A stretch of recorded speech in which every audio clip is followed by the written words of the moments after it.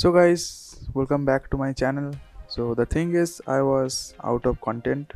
So i was searching for new contents that i can make now. So i had a topic list and from there i chose to talk about the franco kernel manager. So this is the application that i'm going to talk about today.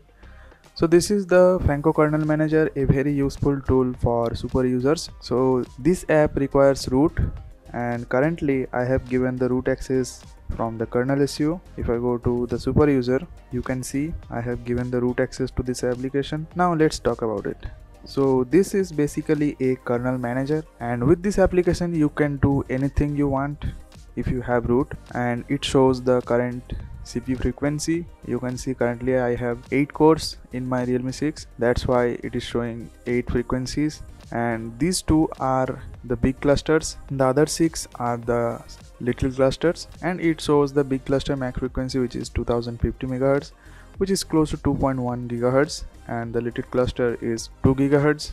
And the governor is set to schedutil which is by default in any android.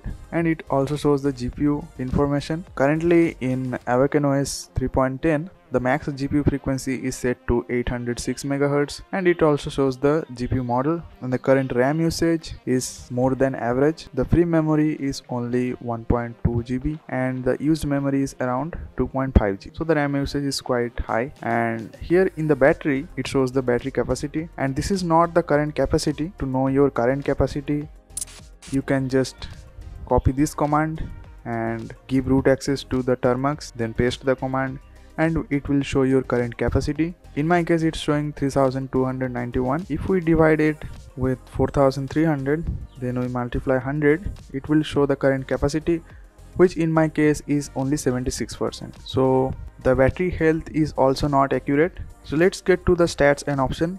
So in stats and option it shows the battery duration battery drain active drain duration etc okay? We get a lot of information about our battery. Now in options we get the battery monitor service. So even if you don't have the root access you can still turn it on. So this is the option that i'm talking about the current discharging rate and also the charging rate if you plug the charger and the active drain idle drain screen on screen off etc. So currently in Awaken OS the active drain is around 6.09% that's why the battery backup is average. If you get 8% or 10% of active drain then that ROM has a great battery backup. Now you get more options like reset the stats when device is plugged and show battery as notification and it also shows the system information. So i have covered the dashboard. Now let's get to the main options. So in flasher you can import the kernel settings and generate a json file and in manual flasher you can flash any kernel with this when you have root access. So if i select any kernel from here it will be directly flashed. So this is about the flasher. You can directly flash any kernel with the flasher. Now in kernel backups you can make a backup of your kernel. So the kernel of this rom is Sionic kernel 4.14.327 if we click on backup then enter a name like Sionic Awaken. Then it saves a boot image which contains the kernel. Let me show this in the file manager. So here in the franco kernel updater you can see a directory is made. And here we have the boot image which is of 32 mb and this contains the current kernel. So before flashing any kernel make sure to backup the current kernel. I mean the stock kernel. Because if anything goes wrong you can restore your stock kernel to get your phone into normal state. So that's all about the kernel backup. Now in cpu and gpu here it comes. The interesting part. Here you can customize the frequencies like for little cluster you can set the maximum and minimum frequency you can also set the cpu governor governor parameters then the big cluster maximum cpu frequency big cluster minimum cpu frequency CPU governor and governor parameters. Now in the last section we have very useful option which is governor profiles. You can set any governor profile by yourself. When I click on new profile then I can just set this profile. Now in core control you can turn off any core of your CPU so you can see like this you can turn off the cores and if I show you in the dashboard you can see only 6 cores are running. The big clusters are currently turned off. That's why it's showing offline. But if I open the CPU throttling test here you can see it's actually running. It's because the settings will only be applied when you reboot. So this is how the core control works. Then we get the gpu control like the gpu governor maximum GPU frequency, minimum GPU frequency, etc. So currently the maximum is 806 MHz and I heard about a kernel where the GPU frequency is set to 900 MHz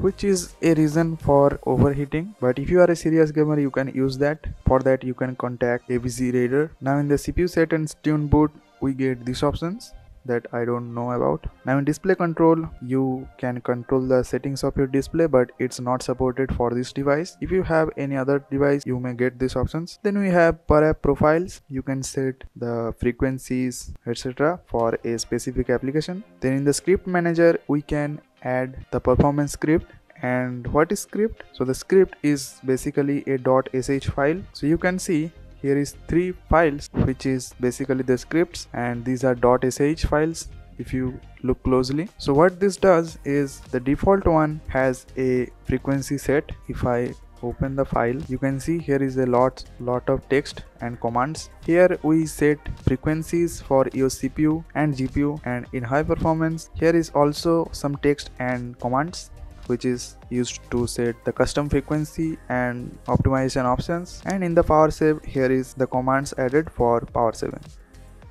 So these are the three scripts that you can add in the script section. Now if you import script it will redirect you to the file manager. From where you can add the script. But i don't use this actually because the MT file manager is convenient for that. Of course you have to give the root access to the application i mean the MT file manager then just click on the script and tick on root then just click on execute and it will execute the script. But in this ROM it does not like the scripts because whenever I apply any script like power save default or high performance it heats up a lot. So I don't know what's the problem with this ROM. Then in battery life tips you get a lot of tips to save battery and here is a lot of option you can see install naptime servicely. Then in the last option we have this one. This is very advanced option i guess. Only developers will know. And here's a lot of options you can see. This is the dot which is indicating the scrolling. And you can see when i scroll it moves too slowly. That means here is a lot of options. So this is it.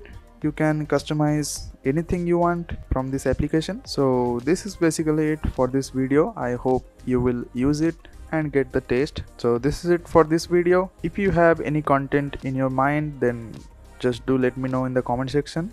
I will make a video on that